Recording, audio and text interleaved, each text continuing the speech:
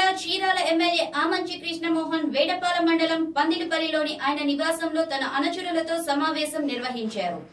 సమావేశం ప్రారంభంలో కాశ్మీర్లో ఉగ్రవాద దాడిలో మరణించిన వీర జవాన్లకు సంతాపం ప్రకటించారు.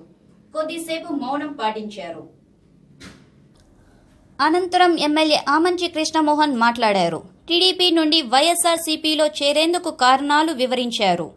ప్రభుత్వ విధానాల వలన ప్రజలు ఎలా నష్టపోతున్నారో చెప్పారు. పొదుపు సంఘాల మహిళలను పసుపు కుంకుమ పేరుతో ప్రభుత్వం మోసం చేస్తుందని చెప్పారు. రానున్న ఎన్నికల్లో వైసీపీ అధినేత వైఎస్ జగన్ ప్రభుత్వం ఏర్పడుతుందన్నారు. చీరాలలో ఏ పార్టీ గెలిస్తే ఆ పార్టీనే ప్రభుత్వాన్ని ఏర్పాటు చేస్తుందన్నారు. చీరాల ప్రజలు వలస నేతల పాలనలో ఉండకూడదని చెప్పారు. ప్రజా సమస్యల పరిష్కారానికి తాను నిరంతరం పోరాడుతున్నట్లు చెప్పారు. తనకు పదవిపై ఆశ ఉంటే టీడీపీలోనే కొనసాగేవాడినని చెప్పారు. కుల రాజకీయాలకు ప్రలోభాలకు లొంగకుండా సమాధానం చెప్పే తెలివైన వారసత్వం చీరాల ప్రజలకు ఉందన్నారు. ఈ సందర్భంగా ఈ నెల ఇరవై ఏడున చీరాలలో బీసీ గర్జన నిర్వహిస్తున్నట్లు పోస్టర్ ఆవిష్కరించారు. సమావేశంలో municipal chairman Modadugu Ramesh Babu AMC chairman Janjanam Srinivasarao AMC vice chairman Seelam Shyambabu Vedapalem MPP Bandla Thirumaladevi Kapu సంఘం జిల్లా అధ్యక్షులు ఆమంచి స్వాములు పాల్గొన్నారు.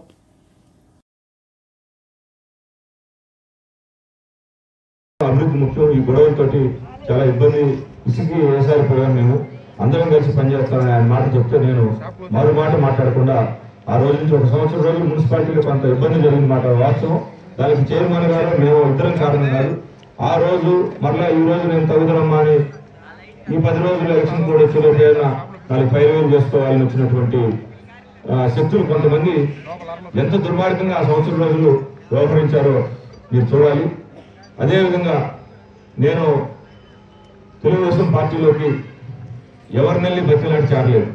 కేవలం ఈ ప్రాంతం యొక్క అభివృద్ధి కోసం ఈ ప్రాంతం యొక్క మేలు కోసం ఈ ప్రాంతంలో ఉన్నటువంటి ప్రజల ఉన్నతి కోసం నేను అప్పుడున్నటువంటి రాజకీయ పరిస్థితుల్లో పాల్గొండి శ్రీనివాస్ రెడ్డి గారు ఎమ్మెల్సీగా పోటీ చేసే క్రమంలో నన్ను తెలుగుదేశం వాళ్ళు కన్సల్ట్ చేస్తే అవతలప్పుడు ఒత్తిడి ఉన్నప్పటికీ అనేక రకాలుగా ప్రలోభ పెట్టినప్పటికీ కూడా మనం కేవలం ఈ ప్రాంతాన్ని దృష్టిలో ఉంచుకొని దగ్గర రాజశేఖర రెడ్డి గారు చంద్రకుమార్ రెడ్డి పెద్ద రోషి గారు చంద్రకుమార్ రెడ్డి గారు ఇప్పుడు ఉన్నటువంటి చంద్రబాబు నాయుడు గారు.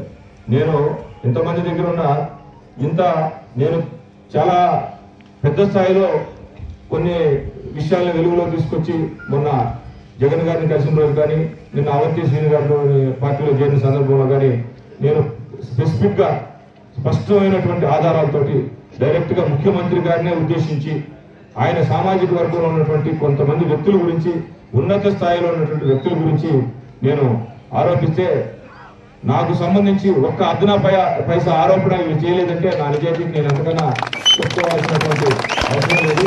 నా పదవి ఇది మీరు ఇచ్చినటువంటి పదవి మీకోసం మీ ఉన్నతి కోసం ఈ ప్రాంతం యొక్క అభివృద్ధి కోసం అనుకుంటాను తప్పితే నా పిల్లాడి బాగు కోసమో లేకపోతే నా కుటుంబాన్ని మేలు చేసుకోవడం కోసం అలా నా ఆలోచన ఉండదు. ఏదో నేను అధికారానికి నేను అధికారానికి ఆశపడేటటువంటి ఒక్క సందర్భం నేను అధికార పార్టీలో చేరిన తర్వాత నాకు పక్కన ఉన్న తెలుగుదేశం చైర్మన్ గారే సాక్ష్యం. బుద్ధంటి సత్యం గారు ఇప్పుడే జస్ట్ వెళ్ళారు. ఆయనకి ఏదో పని ఉందని చెప్పి. ఇలానే ఎంపీటీసీ సభ్యులు కొ- ఈ వీళ్ళందరూ కాక నాతో పాటు ఉన్నటువంటి వ్యక్తులు కాక తెలుగుదేశం పార్టీలో చేరిన తర్వాత మాత్రమే పద్నాలుగు కేసులు సుమారుగా నూట డెబ్బై మంది మీద ఈరోజు